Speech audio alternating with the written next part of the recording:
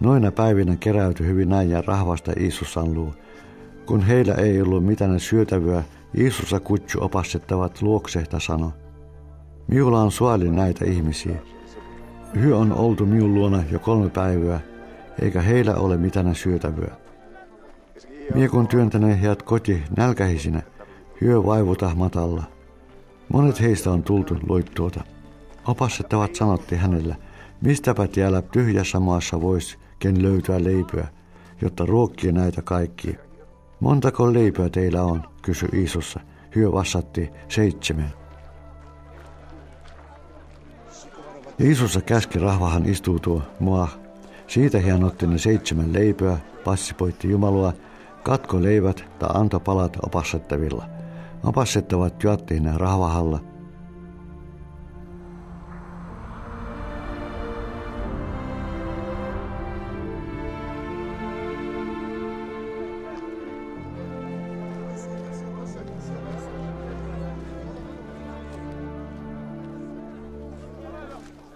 Heillä oli vielä munjes kalamutti.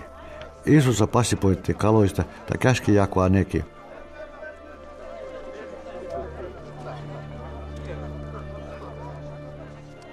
Ihmiset syötiin kyllikseen.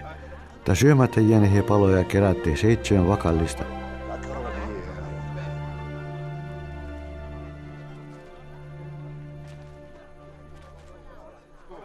Rahvasta oli nelisen tuhatta. Iisussa toimitti heidät luota, ta kohta sen jälkeen astu opasettavien kerran veneheen, tai läksi Dalmanutan alavehellä.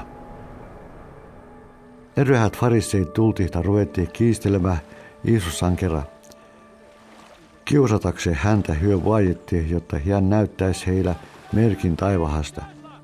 Iisus henkähti syvähtä sano, minä tämä ihmispolvi vaatii merkkiä. Sanon teillä toven, Tällä polvella ei merkkiä anneta.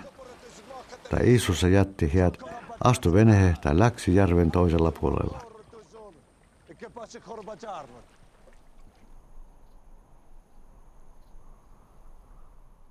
Opasettavat unohetti hottua matkaa leipöä.